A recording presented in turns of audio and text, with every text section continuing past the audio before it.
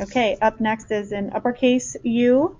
So it starts all the way at the top of the line here, goes down, curves up, the tail comes back to the dots. Just like that. And that is the letter U.